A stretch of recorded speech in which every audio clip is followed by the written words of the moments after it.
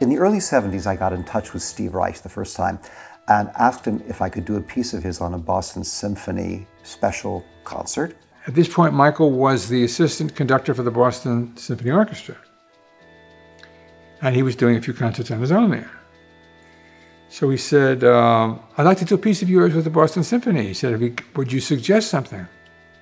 I said, Sure. I got a piece for four electric organs and maracas.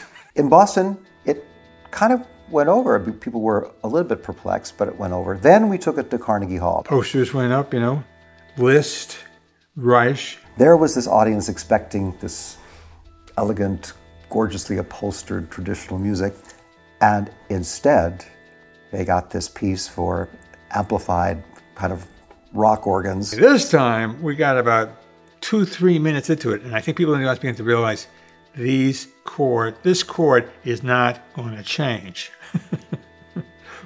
And they didn't like it. There began to be uh, loud coughs and kind of uh, cat calls and boos and people getting up and shaking their fists. When it gets loud, now you you know you're you're aware. You're not looking at them because you're looking at the music, but uh, you begin to realize there's something going on out there, and it got louder and louder. Even though the instruments we were playing were amplified, we could scarcely hear ourselves playing and I had to, in a very loud voice, count out the numbers of the beats. Michael started mouthing, one, two, three, four, five, six, seven.